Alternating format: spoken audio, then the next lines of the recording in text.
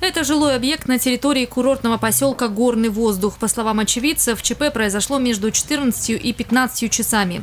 Пламя появилось на втором этаже двухэтажной постройки, а потом перекинулось на соседние объекты.